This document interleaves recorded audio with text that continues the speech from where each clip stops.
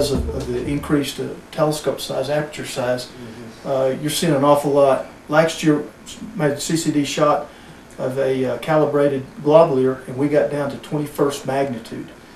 Um, some of the stuff that you're, you're able to pick up on on the uh, with the CCD camera is, is actually literally rivaling stuff that some of your major observatories with telescopes four times this size are putting out.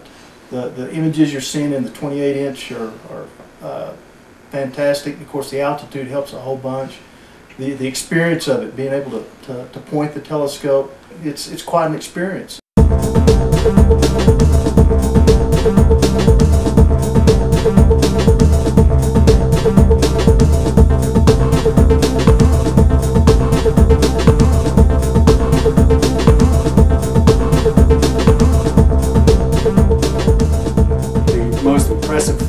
With respect the telescope to me were I can't believe the phenomenal image sizes that you get for these objects. I mean, I looked at M27 in the scope up on Mount Evans there, and you know the image fills the whole field of view.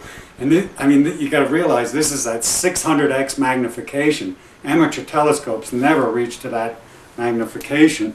Yet, from what I calculate for this telescope, you could probably go to 1200x magnification if you had exceptionally clear nights. So Mhm. We're only operating at, you know, half the potential. half its potential, and you have image sizes that are just unreal.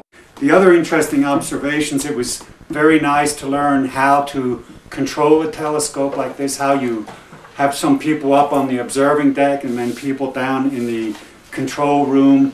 And I can't believe how the how rapidly the weather changes. I mean, 20 minutes you go from totally fogged in that you can't see a star to it's crystal clear.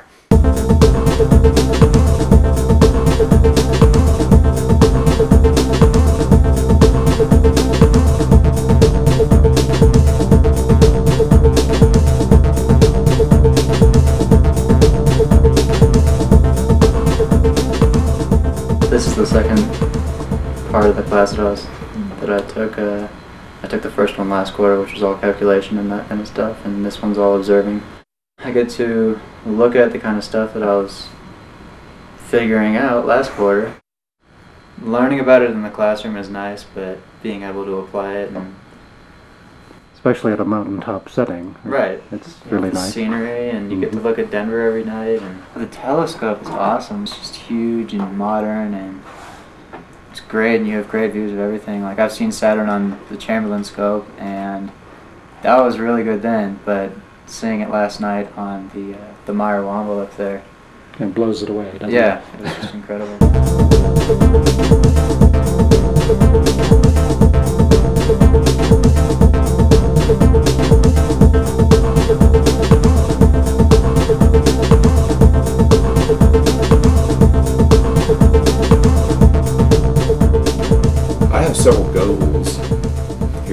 Mount Evans. Uh, I plan on imaging uh, several cataclysmic variables and long-term long-period variable stars and tracking those.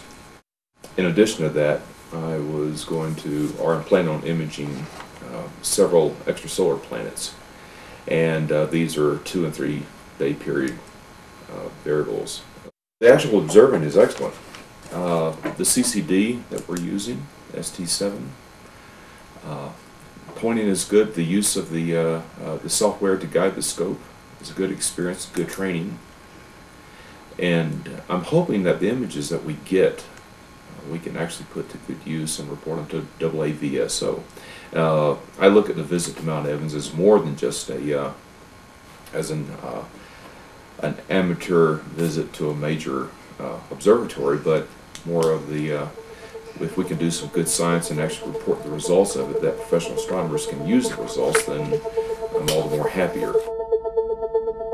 This has been the kind of experience that uh, anyone who is really halfway serious about uh, astronomy, whether as a hobby or a profession, would uh, very definitely look forward to doing. Looking through the 28, uh, I'll- that will be a memorable experience. the experience that you have up here with Dr. Stencel and the University of Denver is just awesome. That's what I imagine.